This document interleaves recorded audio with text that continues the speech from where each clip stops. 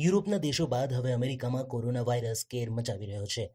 અમેરિકામાં લાખો લોકો આ વાયરસના સંક્રમણનો ભોગ બન્યા છે અને હજારો લોકોના મોત થયા છે. અમેરિકાના રાષ્ટ્રપતિ હવે આ મામલે ચીન અને વિશ્વ સ્વાસ્થ્ય સંગઠન પર ગુસ્સે થયા છે. તેમણે વિશ્વ સ્વાસ્થ્ય સંગઠન પર આરોપ લગાવ્યો છે કે તે ચીનની તરફદારી કરી રહ્યું છે. આ સાથે જ ટ્રમ્પે ડબ્લ્યુએચઓને અપાતા ફંડને રોકવા પર પણ વિચારણા કરવાની વાત કરી હતી. વિશ્વ સ્વાસ્થ્ય સંગઠને કહ્યું છે કે કોરોના વાયરસનું રાજનીતિકરણ ના કરવું જોઈએ He respects the WHO, and I think that's that's good. And he's worked with them for a long time.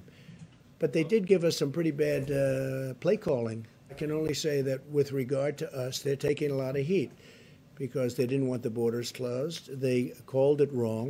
Uh, they called, they really called, I would say, every aspect of it wrong. Take a look. I mean, go through step by step. They said there's no big deal, there's no big problem, there's no nothing. And then ultimately, when I closed it down, they actually said that I made a mistake in closing it down, and it, it turned out to be right. But at the time, they, you know, they did that. So we're just going to take a look at it. You know, we fund it, and and they seem to be, you know, I said recently in social media, I said they seem to be very China centric. That's a nice way of saying it, but they seem to be very China centric. And they, they seem to err always on the side of China. And we fund it, you know, so I want to look into it. Yes, please.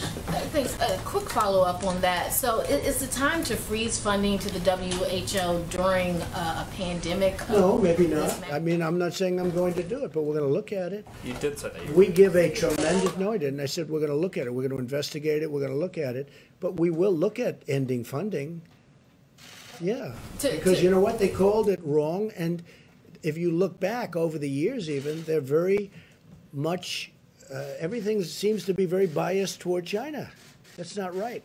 જો કે આ પ્રથમ વખત નથી કે અમેરિકાના રાષ્ટ્રપતિ Donald ટ્રમ્પે વિશ્વ સ્વાસ્થ્ય સંગઠન પર ચીન પ્રત્યે સહાનુભૂતિ રાખવાનો આરોપ લગાવ્યો હોય આ પહેલા અઠ્યાવીસ જાન્યુઆરીના રોજ ચીનના રાષ્ટ્રપતિ શ્રી જિનપિંગને મળ્યા બાદ જ્યારે વિશ્વ સ્વાસ્થ્ય સંગઠનના ચીફ ટ્રેડોસ એડેનોમ ગેબ્રેયસસે કોરોના વાયરસને અટકાવવાના ચીનના પ્રયાસોના વખાણ કર્યા હતા, ત્યારે પણ અમેરિકા સહિત વિશ્વના અનેક દેશોએ તેમના પર સવાલ ઉઠાવ્યા હતા.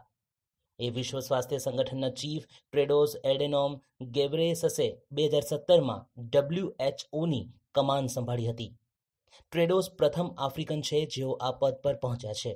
તેમના પર એવા લાગતા રહ્યા છે કે તેમને આ પદ ચીનના પ્રયાસોને કારણે મળ્યું છે. અમેરિકા દર વર્ષે ડબ્લ્યુએચઓને અબજ રૂપિયાનું ફંડ આપે છે. વિશ્વ સ્વાસ્થ્ય સંગઠન આ મામલે ઘણું બધું અમેરિકા પર નિર્ભર છે.